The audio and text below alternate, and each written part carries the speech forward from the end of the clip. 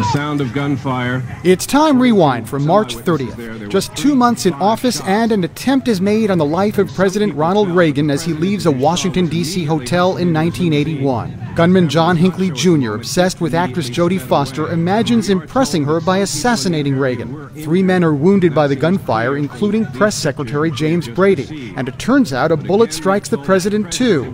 He undergoes surgery and quickly recovers. Hinckley successfully argues an insanity plea and is remanded to a psychiatric hospital. The popular game show Jeopardy premieres in 1964 with host Art Fleming. Let's get right down to the game and play Jeopardy!